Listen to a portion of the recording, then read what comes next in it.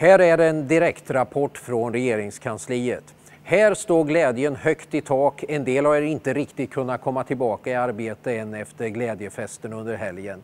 Men det ska också erkännas att en och annan slokörad drar sig fram i korridorerna och vill helst inte möta någon. Det är Djurgårdsanhängarna.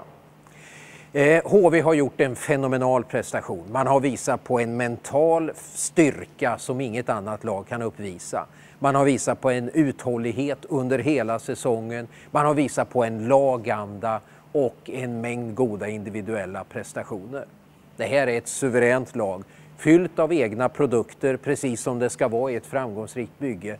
Men man har också genom en del importer lyckats få den där extra spetsen som gör att man återigen är svenska mästare.